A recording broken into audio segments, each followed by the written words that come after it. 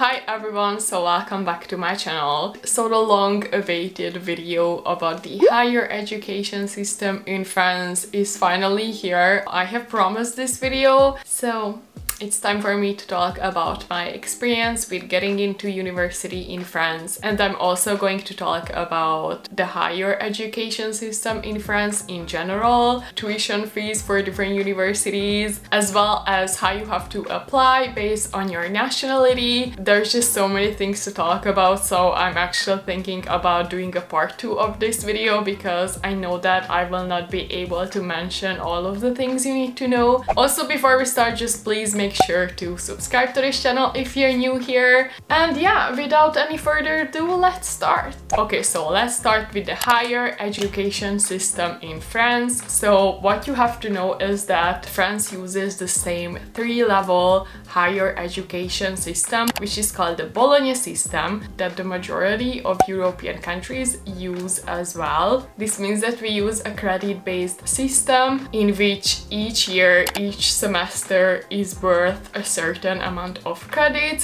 So for example, the undergraduate program, the bachelor program, which is called the licence that I am doing at the moment is worth overall 180 credits, so 60 credits per year. So the undergraduate program, the bachelor program, which is called the licence that I was just talking about, consists of three years of study. Following that, the master's program consists of five years of study Following that, the doctorate program, so the PhD program, consists of eight years of study. So in France, each institution, each university has its own criterias for applying. So just make sure that you check their websites respectively because their criterias might differ. That being said, in almost every case, there are some common things that you would might need. A copy of your passport, a copy of your high school diploma, diploma and of your graduation diploma with your results, a copy of your French language certificate if you're going to be studying in French, a motivational letter that you will have to write, and some universities might even have a fee for applying. Mine didn't, but just please make sure that you check because it can happen. So one website that you should get familiar with before starting any of your planning is Campus France. So Campus France is a public institution in charge of promoting French higher education abroad and welcoming foreign students and researchers in France. I'm reading this from their website, by the way. Basically, it is a website that is responsible for encouraging foreign students to study in France by providing all of the necessary informations and also scholarships. So if you're looking into getting a scholarship for studying in France, then you will also need to go to their website. Campus France is also the website to go to if you're looking for a suitable program for you. I'm pretty sure that you will be able to find something. There really are just so many programs. So the tuition fees. Let's talk about that! In France, many universities are public institutions, which means that the fees are relatively low and it's also not that hard to get in. That being said, there are also some private institutions where the tuition fees are much higher and they're also a lot more selective when it comes to students. These are the so-called grandes écoles. They are considered like the fancy institutions in France. They are usually the places where people in high positions graduate from. So for these private institutions, the tuition fees can be anything from 3,000 euros to 20,000 euros a year. So the fees for public universities are set by the French government and they are the same all across the country. That being said, since last September, so September 2019, the fees for international students outside of Europe have changed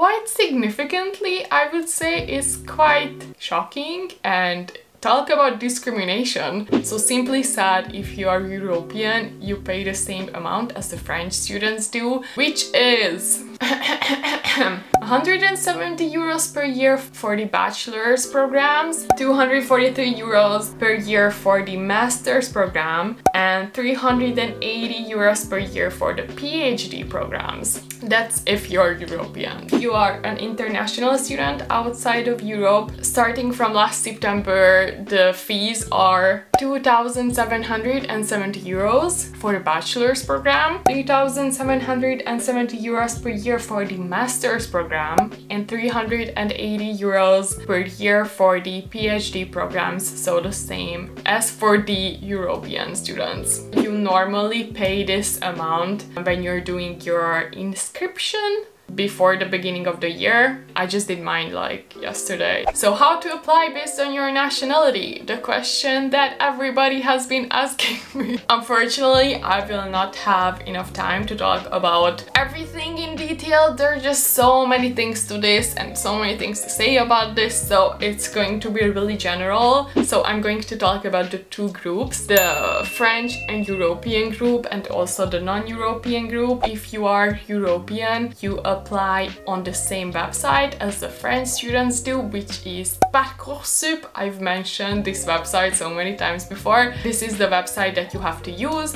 for applying to universities in France. So the registration process for Europeans opens at the end of January and it's open until mid-March. After this you have around two more weeks, so until the beginning of April to finalize your choices and to send your missing files and all of that stuff. So if you are a non-European student, so as a non-European student you have to apply through an online process that is called Études en France studying in France. Through this website, you can also apply for visa and you can track the progress of your application as well. So if you are a non-European student wishing to enroll to university in France for your first year, you need to register first for the DAP, Demande d'Admission Préalable. This is mandatory if you're a non-European student applying to university in France. So this opens at the beginning of November and is open until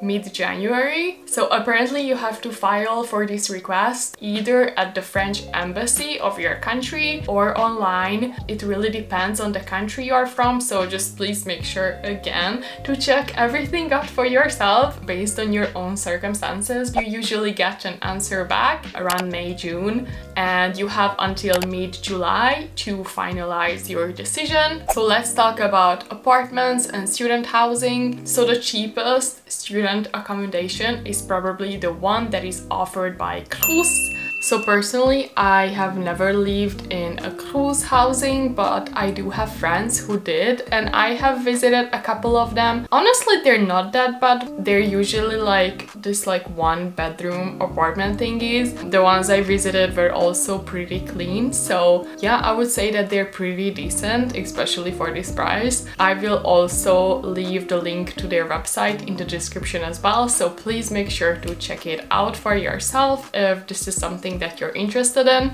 As for me, I personally live in my own apartment that I am renting from someone and I do actually have a detailed video about how I have find my apartment in Paris so I would really recommend you to check out that one because I really talk in detail about the whole apartment hunting experience in Paris. And last but not least, I want to talk a little bit about my experience with this whole applying process to university in France and also about my whole experience with studying in France, studying at Sorbonne. So for me, the whole applying process to university in France was rather easy. I would say it's probably also because I am European so I don't need I don't need a visa. I don't need a lot of additional documents like the non-European students do. So I was saying pretty lucky in that regard. I remember that I did my registration at Parcoursup last February and I got an answer back at the end of May and I instantly said yes. I didn't really even wait and that was literally it and I got accepted it. Was really easy, honestly. Also, something that you have to know is that in France, public universities, public institutions are non-selective. So it means that pretty much all of the French students can get accepted to somewhere. And because of this, and also because of the fact that the tuition fees are so low, you might come across some students, some French students that are not too motivated. I've had this experience that a lot of my classmates were just really unmotivated and actually a lot of them reorient after like a semester. So the biggest hardship that I have had is probably the whole marking system, the whole grading system. It's just something that I can still not really wrap my head around. It's really weird for me. So in France, marks are graded on a scale of 0 to 20 and 10 is the pass mark. Every time I get my results back, I always have to ask someone like, is it good? Is it bad? what it is, I don't know. I remember one time I get an 18 in literature, I think, and my friend was like, Oh my god, like that's so good, like how did you do it? And I was like, oh, so it's like good? Um, yeah, it's just really different from how we do it in my country. Also, I got a question asking if professors are nice in France. I mean, I cannot really say that they're nice. I cannot really say that they're not nice. They're just professors. There are some nice ones. There are some not so nice ones but I think that it also really depends on what your attitude is. I think that if they can really see that you're trying your best as a foreign student, they will be nice to you from my experience. I think I only had like one professor who was really rude to me even though I didn't do anything but again she was rude to everybody so I guess it's just a rude person. There are professors like that everywhere so don't take it personally too much. The only thing that you can do anything about is yourself, is the way that you are going act. But actually the majority of my professors were really nice to me, honestly. Also, one thing that I have noticed that it's really important in France to ask questions during your courses. If you want them to remember you, even if you're a foreign student, ask as many questions as you can during the classes. And yeah, I think that this is the end of this video. I will might do a part two of this video if you guys have more questions. But I think for now that's it. I hope that you enjoyed this video and I really hope that you have find it helpful. Just again, if you are not subscribed yet, please consider subscribing and also like this video if you enjoyed it or if you found it helpful. Thank you for watching and I will see you soon. Bye!